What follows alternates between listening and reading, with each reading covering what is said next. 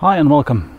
It has been a while since we last made a video and that's because the manufacturers are only now starting to come online with their demo models and we hope to bring you a lot more videos more frequently through the next couple of weeks. This week I'm here to tell you about the new 2018 Suzuki DL1000 XT.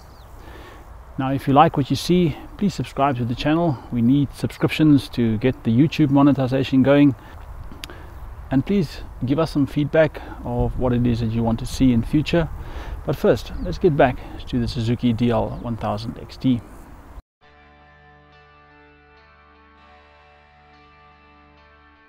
This is the 2018 DL1000 it doesn't look much different to its predecessor and most of the changes that went into this year's model is under the skin. It now has additional electronic sensors to measure all sorts of angles on the bike, lean angle, yaw angle, so that the computer can make far better decisions when you are in mid corner and you grab either a handful of throttle or a handful of brakes. Speaking of brakes, the brakes have been updated. It's now got a connected brake system. That means if either of the wheels, front or rear, loses grip, the computer will then reduce the pressure at the offending end and apply pressure to the other end. The front of the bike also received a styling upgrade. The beak has now got more angular lines. The indicators have been moved from here to here and I suppose that it's got to do with getting them out of the way if you drop the bike. The screen has also been upgraded. It's now about 5 centimeters taller than the one it replaces.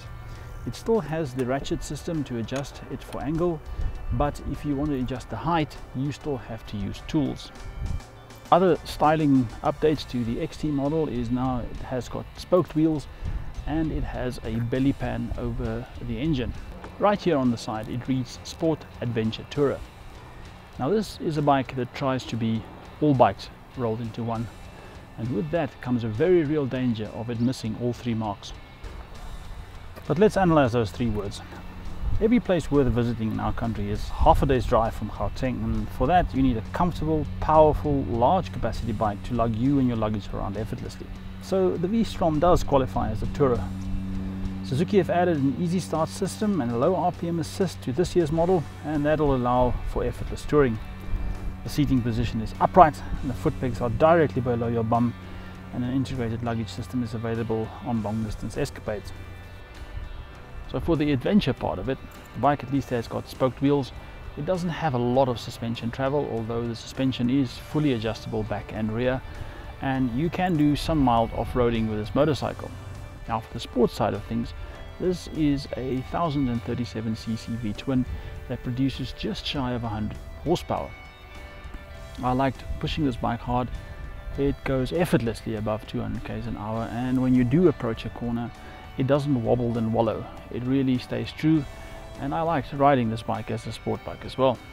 If I have but one gripe with this motorcycle that is that seat. That is just a wrong choice on any motorcycle to have a seat that is not black. That seat you'll just have to give a dirty look and the stain will sit there. The dash on this bike has stayed unchanged from the previous model and that's a good thing. It has a large analog rev counter and all the other information is displayed in an LCD.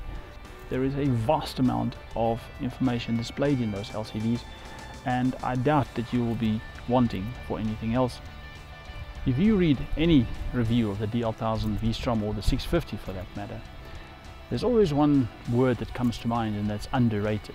I've heard unsung hero, I've heard the forgotten child, but all in all, Journalists concur that this really is a spectacular motorcycle and unfortunately easily overlooked.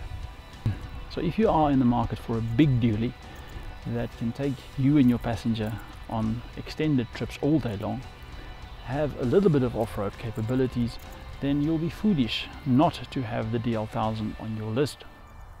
This really is a spectacular motorcycle and I enjoyed riding it. And for once, a sport adventure tourer, the DL1000 XT.